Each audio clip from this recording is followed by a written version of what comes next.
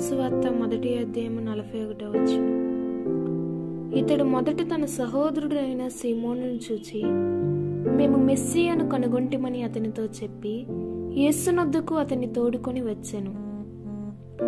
Messiah అను మాటకు అభిషక్తుడని అర్థము. ఒక ఉద్వేగభరితమైన మరియు ఇతరులను ఉత్తేజపరిచే వర్తమానమును పేతురుకు ఆంధ్రయ్య తెలియజేస్తున్నాడు.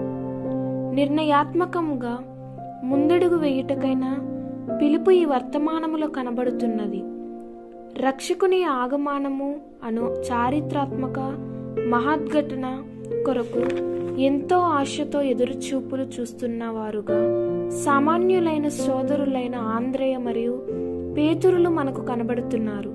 మరియు ఆంధ్రేయ తన సహోదరుని యేసునొద్దుకు తీసుకువచ్చాడు. పిమ్మట యేసు గలీలయకు వెళ్ళగోరి పిలిప్పును కనుగొని నన్ను వెంబడించమని అతనితో చెప్పాను. ఇలా ఒక మహిమానిత్వమైన వరుస క్రమము ఆరంభమైంది. ఫిలిప్పు నడవడిని హత్తుకోవడం అనేవి బహుదూరమైన సంగతులుగా కడపడుతుంటాయి అయితే శిలువ యొద్ద నుండి ప్రవహించిన ప్రేమ మరియు క్షమాపణలను రుచిచూచిన మనకు పనిచేసే స్థలముల్లోనూ మిషనరీ పరిచర్యల్లోనూ సిలువనెత్తుకోవడం అనేది ఒక రాజరిక ఆధిక్యత వంటిది. నిజానికి మనము చేయు సేవ లేక ఏదైనా త్యాగము ఎంతమాత్రము ఎన్నిక లేనివి యేసు కొరకు నేను చేసేది ఎంతో స్వల్పము.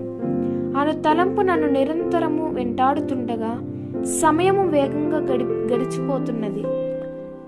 క్రిస్మస్ అంతా యేసును గుచ్చి తప్ప మరి ఏమీ కాదు.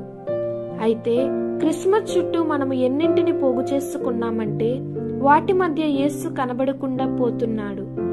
రక్షకుని చీకటిలోనికి త్రోసివేయవద్దు. అందువలన ఆనాడు సత్రములు వారికి స్థలము లేనందున ఆయనను పశువుల తొట్టిలో పరుండబెట్టను. లోక రెండు ఏడు. అను సంగతి వస్తుంది. అయితే నేడు కూడా మన యొక్క విందు వినోద కలాపముల మధ్య పశువుల తొట్టియే ఆయనకు నియమించబడిన స్థలము అన్నట్లుగా కనబడుతున్నది. క్రిస్మస్ను ఆయన జన్మదినముగా గుర్తు చేసుకోండి. మన ధ్యాస ధ్యానము మరియు ఆరాధనలకు కేంద్ర బిందువుగా ఆయనే ఉండాలి. క్రిస్మస్ నుండి వ్యర్థత్వమును మరియు వెర్రితనమును దూరంగా ఉంచుదాము. మన చిన్నపిల్లలను నూతన వస్త్రములు లేక ఆట వస్తువులలోనూ సంతోషించనివ్వండి. కానీ పెద్దవారమైనట్లుగా మనల్ని మనము ఎంచుకుంటున్నప్పుడు హృదయములను జాగ్రత్తగా పరిశీలన చేసుకుంటూ యేసు కొరకు మనం సంపాదించిన ఆత్మలు మరియు ఆత్మీయ సం సాంపాద్యములను లెక్కచూచుకుందాము ఈ క్రిస్మస్లో మీలో ఎవ్వరు బంగారు ఆభరణములను కొనుగోలు చేయకండి. నీవు ధనవృద్ధి చేసుకున్నట్లు అగ్నిలో పుటము వేయబడిన బంగారమును నా యుద్ధ కొనుమని నీకు బుద్ధి చెప్పుచున్నాను. ప్రకటన గ్రంథము మూడవ అధ్యాయము పద్దెనిమిదవ వచనం అంటూ దిగజారిపోయిన లవోదికయ సంగపు దూతతో సంగమునకు శిరస్సైన దేవుడు చెప్పిన మాటలను జ్ఞాపకం ఉంచుకోండి అవును విధేయత అను బంగారము మనకు అవసరమైనది. ఆయన కుమారుడై ఉండి తాను పొందిన శ్రమల వలన విధేయతను నేర్చుకొనెను.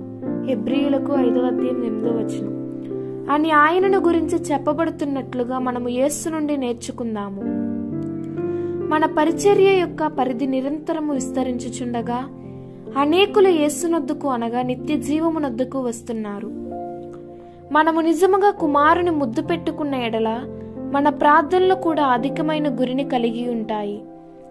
మన టీవీ ప్రసారముల ద్వారా ఆస్ట్రేలియా ఆసియా ఆఫ్రికాలో కొన్ని భాగములు ఐరోపా బ్రిటన్ మరియు ఉత్తర దక్షిణ అమెరికాలలో కొన్ని భాగములలో కనబడిన దేవుని సంఘము వృద్ధి అవుతుండగా మనం దేవునికి లెక్క అప్పచెప్పవలసిన గొప్ప బాధ్యతను కలిగి ఉన్నాము.